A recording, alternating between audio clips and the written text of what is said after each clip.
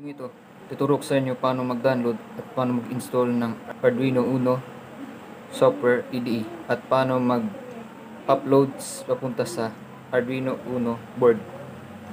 Tara!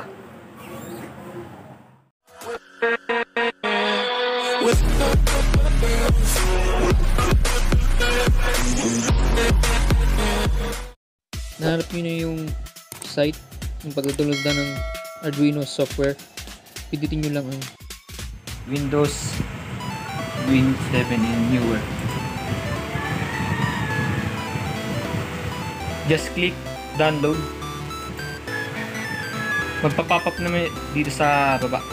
Pag na-download, yun na. Click save. Kung saan nyo ilalagay yung, yung folder ng ano, file. Pagka download po nyo ng software, magpa-pop up to. Just click agree. Next.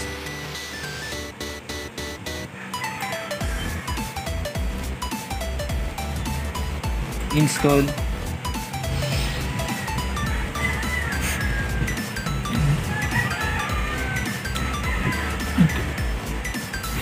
Nyo lang matapos.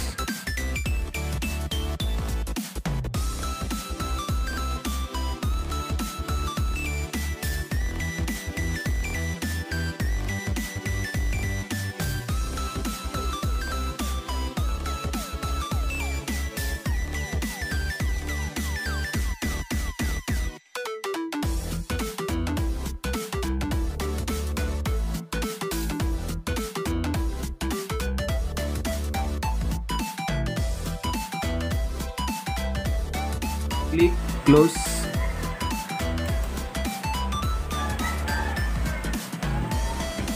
And ayun na po siya. Ito po ang Arduino software. Ganun lang po. Yung link po ng ito po nasa description box. Click nyo na lang po. Video ito ituturo ko sa inyo paano mag-upload ng program Blink papunta sa Arduino Uno board Tara. Sa video ito, ituturo ko sa inyo paano mag-upload ng ng program link. Ito po ang Arduino. Tara. Pagka-install natin ng software, saksak natin.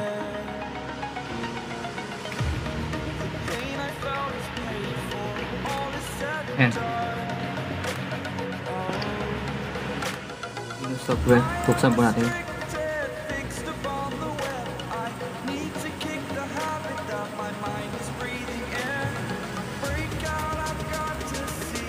Ito, makikita natin. Sketch kung saan nyo ilalagay yung program. Verify. Ah, i-verify niya ang program. Upload.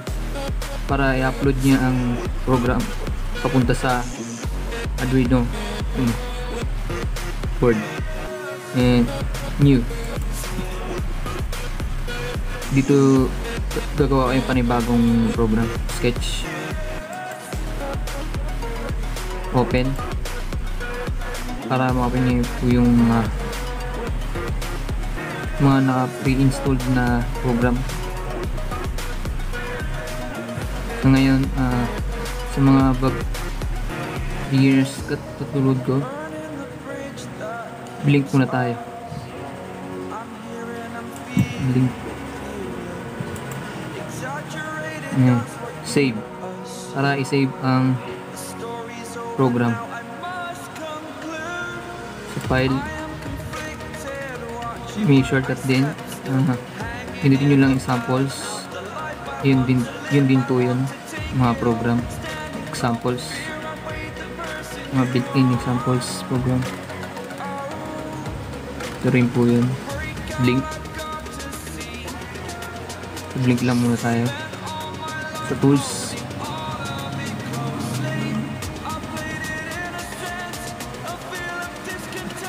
Pindutin nyo lang po ang Arduino Uno. Kasi yun po ang gamit natin ngayon. Maraming klaseng Arduino. Ayan po una punta muna kayo sa tools tignan nyo muna kung naka ayun. Sa COM 3 siya. Kailangan dito sa RG sa COM 8 siya nakakonect para ma-upload mo yung ang code papunta doon sa Arduino Uno natin. Subukan natin na 10,000 dagdag tayo 0 anong nangyayari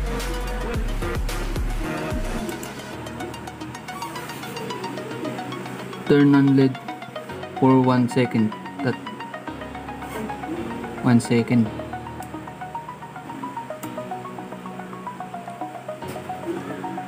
Di pag 10,000 10 seconds yung yung delay nung ilaw on and off.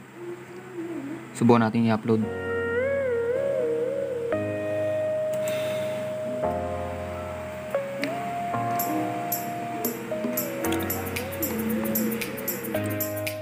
ang 10,000 on 10,000 off. Subukan natin bilangin. Ah. 1 2 3 4 5 6 7 8 9 10 1 2 3 4 5 6 7 8 9 10 1 2 3 4 5 6 7 8 9 10 1 2 3 4 5 6 7 8 9 10 ganun lang po siya. 10,000 on 10,000 off. Ah kung gawin natin 100 anong mangyayari natin kung nature anong mangyayari One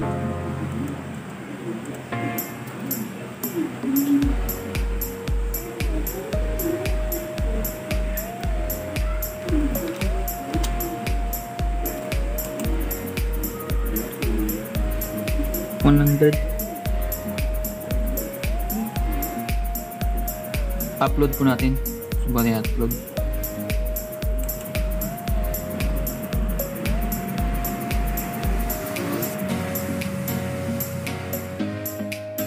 Yan. Ganyan po siya kabilis. Pag 100, tig 100 kuntas off.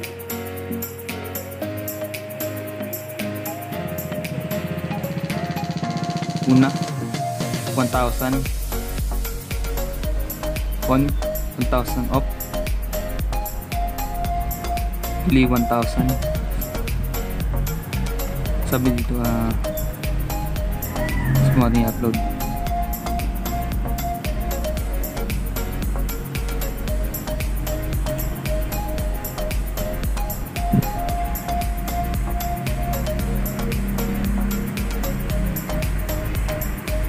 yun na, na-upload natin.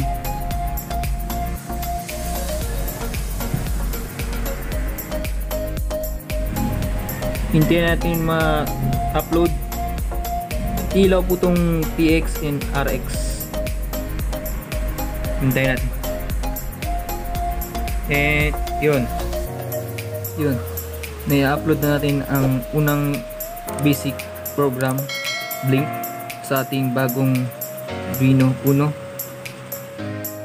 okay. Thank you. Thanks for watching. See you on the next video